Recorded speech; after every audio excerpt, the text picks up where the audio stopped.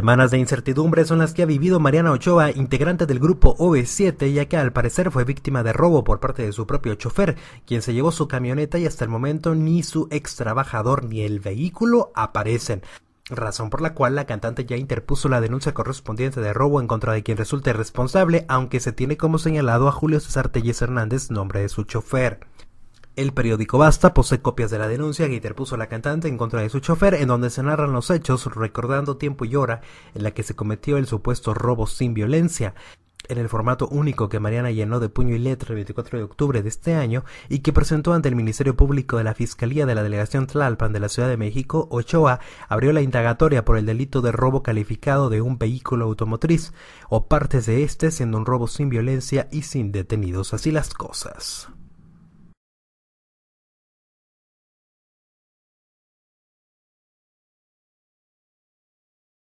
¿Quieres recibir la mejor información del mundo de los espectáculos diariamente? Suscríbete al canal. Aquí debajo de la flecha, ahí te puedes suscribir. Es gratis. Y estarás informado de lo más importante de los espectáculos.